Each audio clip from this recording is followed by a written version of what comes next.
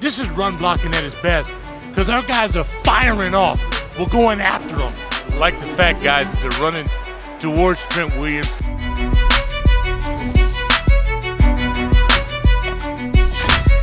If you ask people around the National Football League who the top left tackle is in the game, most people will say Trent Williams. I think if you talk to a lot of the pass rushers who go against him, they would say he is the best in football. He's as good as they get on the left tackle position. Whatever his assignment is, he makes sure he goes out there and he dominates. I've never seen an athlete like Trent Williams. He can do it all. He's fast, he's quick, he's explosive, he's everything. But he's as good as it gets.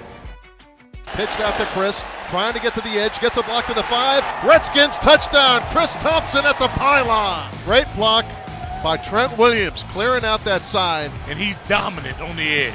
He dominates the game. I feel like even while he's injured or healthy, you know, he gives it his all 100% of the time. Yeah, Trent's gutted through an injury pretty much all season long. He's blocking people at 80%. But some of these premier pass rushers, they got to be humiliated they can't beat him and he's on a leg and a half. That's kind of been his MO throughout his career. Whenever he's you know been banged up, he's been able to somehow gut it out and perform not only you know be, be available to play in the game, but also perform at a high level. Looking left, little dump off, Perine the catch, gets hit, and he gets into the end zone for a Redskins touchdown. Good job by Perine. How about that old line though? How about that pass pro? Yeah, all day. Fits are perfect, baby. tell you one thing, man. It took me a while to learn that uh, some of the stuff that Trent does, I cannot do and I can only replicate only a little bit of his game.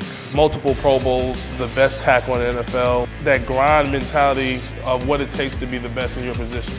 He's got to be considered a Pro Bowler every year, despite the fact he hasn't played all the games. The fact is, when he's out there, even being injured, he's still the best tackle on the field. That just tells you how athletic this guy is, how smart he is, how good he is. A cornerstone for our team and uh, really the standard at the left tackle position around the entire NFL.